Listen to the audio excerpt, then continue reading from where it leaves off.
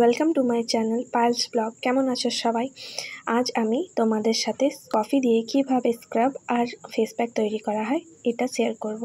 দু চামচ কফি নিয়ে নেব, একটা বলে, তার মধ্যে একটু চিনি, একটু মধু নিয়ে নেব, তার মধ্যে একটু লেমন দিয়ে পরে মিক্স করে নেব।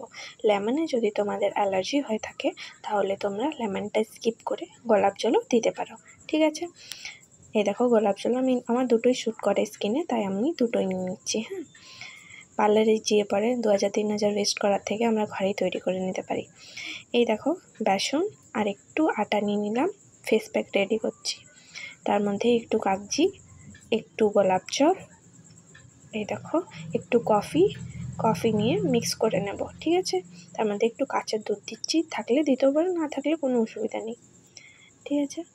এবার মুখটাকে ভালো করে ফেসটাকে ভালো করে পরিষ্কার করে ফেস ওয়াশ করে, তার মধ্যে একটু আমি ফেসটাকে ক্লিনজিং করে নিচ্ছি কাঁচা দুধ দিয়ে র মিল্ক দিয়ে, এটা ভালো ক্লিনজার হয় স্কিনের জন্য। এবার আমি যে স্ক্রাবটা তৈরি করেছিলাম কফি দিয়ে, সেই স্ক্রাবটা পুরো ফেসে লাগিয়ে নেব ঘষে ঘষে ভালো করে। এই দেখো, ঘষছি ঘষছি ঘষছি, ভালো করে লাগাচ্ছি, গলায় লাগিয়ে নিচ্ছি, কেমন যেন ভূতের মতো লাগছে, হেসো না তোমরা। এই দেখো ভালো করে ঘষে ঘষে দশ মিনিটের জন্য ওয়েট করব আর শুকিয়ে গেলে ভালো করে পুছে নেব। ভিজা কাপড় দিয়ে ভালো করে পরিষ্কার করে নেব। তোমরাই বলো পরিষ্কার হয়েছে? আমার মুখটা একটু গ্লো করছে।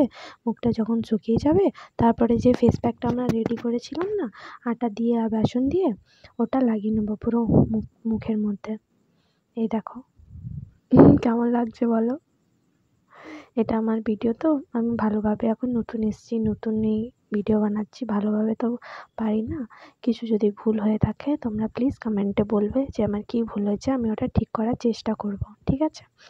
এই দেখো, ভালো ভালো করে ঘষে ঘষে ঘষে ঘষে, ভালো করে ম্যাসাজ করে করে লাগিয়ে নিচ্ছি।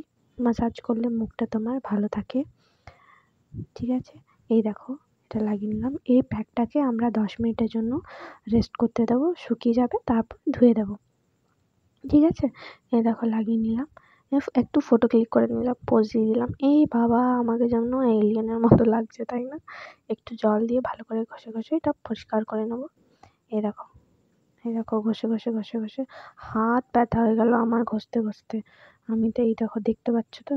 এই দেখো, পরিষ্কার হয়েছে কি না সেটাও বলবে প্লিজ ভিডিও ভালো লাগলে লাইক সাবস্ক্রাইব কমেন্ট করবে নিশ্চয়ই। এই দেখো পরিষ্কার হয়ে গেল, হয়েছে পরিষ্কার গ্লো করছে এবার আমি চললাম রিলস বানাতে।